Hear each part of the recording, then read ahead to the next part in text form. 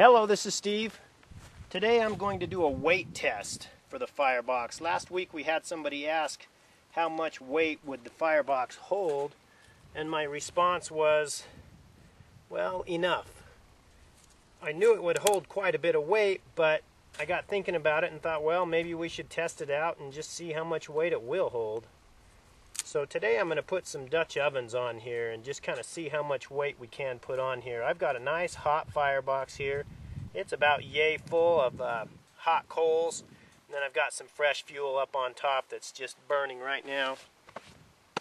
But I've got uh, 12 inch Dutch ovens. And these, these Dutch ovens weigh 20 to 25 pounds each just in the Dutch oven. And then the water inside weighs about 15 pounds. So that looks like that's pretty well centered. I can't really see it too good here. Yeah, that looks good right there, I think. So there's one, and they're completely full of water. I don't know if you can see that water in there. There's one.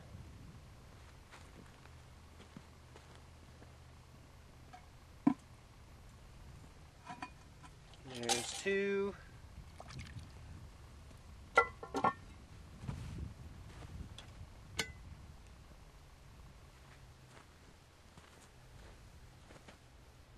There's three.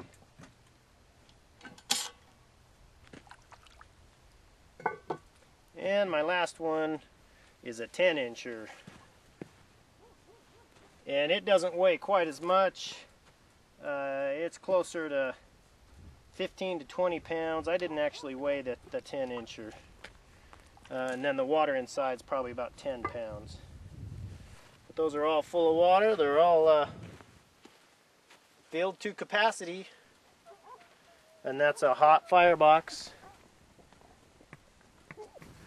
So I'm going to go ahead and put this. This is a good way to get the ashes to fall through the bottom of the firebox. You put it in the bottom of this tie-shaped hole and then just move it sideways like this. You put it in on the edge and that'll just get all the ashes to fall through and allow the air to circulate up through there a little bit better. So that's just a little extended burn tip. Okay, the girls and I decided we'd stay up here and and keep feeding the fire until we brought this to a boil and it just boiled over. And I couldn't get the camcorder up and running fast enough to catch it. Uh, but I think you can see the steam coming out of there now. But the, the boil over kind of uh, damp, dampened the fire down a little bit. There it goes again. So we got that bottom Dutch oven to boil over. That was pretty fun but we still have them all stacked up here. and So there we have it. There's our weight test. We didn't test it to failure, but I like my firebox. I don't want to ruin it. And I know I'll never need to cook anything that's that heavy. So I think it passes. Thanks for watching.